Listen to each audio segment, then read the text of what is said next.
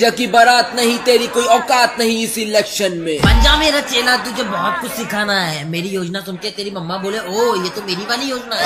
संसद ये दिल्ली इलाका है मेरा go back to your Italy कुछ है क्या इस पप्पू को बोलने का?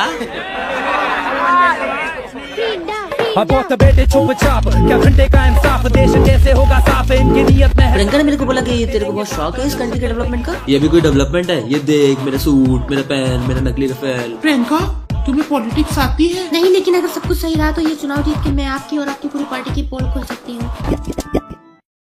हाँ मेरा भाई ये तो नोटों की सरकार है ना। नोट से बनाते अपने बेटों को मेरे भाई को पप्पू पप्पू कहेगी तो भक्तूँगी ना उसको। बहुत बड़ी पॉलिटिशियन है क्या तू? अच्छा छोड़ना आगे से नहीं होगा ऐसा। हाँ रॉबर्ट की कसम। फंस जाएगा वो।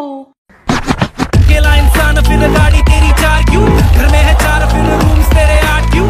एक अच्छा पीएम बनने की खुशी अगर करीब है तो उसके लिए ट्राई करने का ना। इन भ्रष्टाचारियों को हटाना है। तेरे को जो करना है वो कर।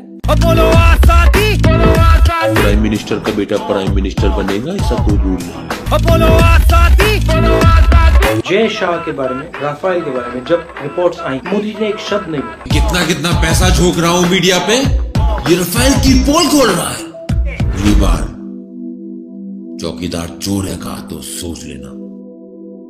अपना बहुमत आएगा।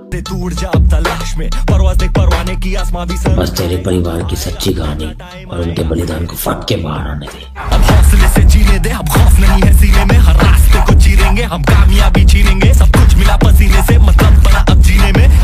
कौन है? क्या औकात क्या तेरा? तू बताएगा मेरे को मैं कौन है?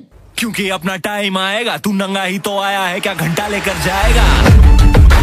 अपना टाइम आएगा।